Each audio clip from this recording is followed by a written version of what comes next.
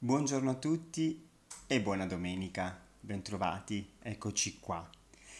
Oggi noi concludiamo questa settimana di preghiera che chi ha vissuto insieme a me è stata meravigliosa perché per sette giorni i nostri momenti di preghiera sono voluti essere una piccola offerta per i nostri defunti, per le anime del purgatorio, per le anime più abbandonate.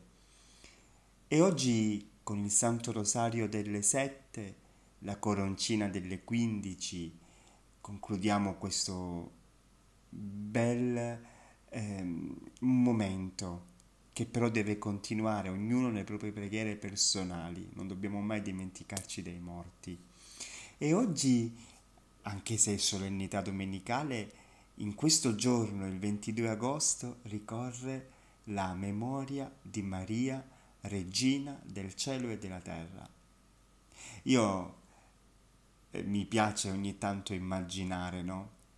Come sarà dopo, quando lasciato questa terra, per la grande misericordia del Signore, nonostante i miei tanti limiti e mancanze umane alla mamma posso presentarmi dinanzi a lei e dire io ti ho amato, ho provato ad amarti come madre, ho provato a tenerti sempre stretta al mio cuore.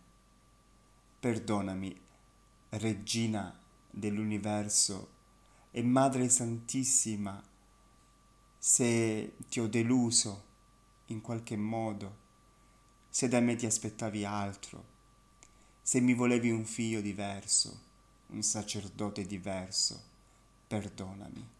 Però mamma, mostrami adesso il paradiso. E se per qualche motivo, quando io mi presenterò lì al cospetto del Signore, e contemplerò il suo volto, in quel momento non dovessi vedere la mamma, io penso che la prima cosa che chiederei a Gesù, ma dov'è la Madonna?